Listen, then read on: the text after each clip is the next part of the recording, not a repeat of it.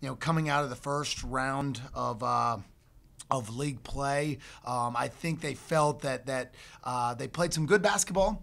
Um, but yet they left a little bit out there, and that doesn't mean that uh, that the league record would have been any different from five and three, but they felt like they left a little bit out there with a couple of those games, and and and so you know we are this group knows they have more in the tank and they want to attack the process, and they and they absolutely sent a message tonight to the league that, that they're ready to attack the second half of, of league play. Because South Dakota, um, you guys weren't out there, um, you guys haven't uh, uh, been out there the last couple years. I mean, this is a a team that has a, a tremendous toughness, um, a team that that I have a lot of respect for. Um, you know, we had unfortunately dropped five in a row with with these guys, and uh, and, and our guys didn't like that, and and uh, we we felt like you know we, we we let one get away out there, or they took it from us, and we were going to have the team that would have more attack and more aggressiveness was going to end up having more success tonight, and uh, and our group did that. They did that on both ends of the floor with uh, putting them in crowds, but also on the offensive end,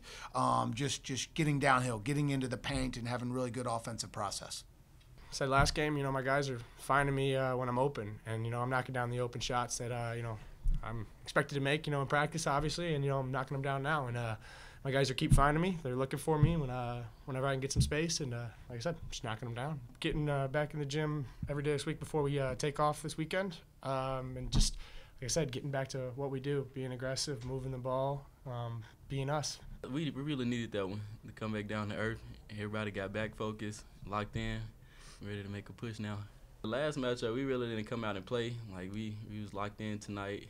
We wanted to um, bounce back from when we um, played at their place.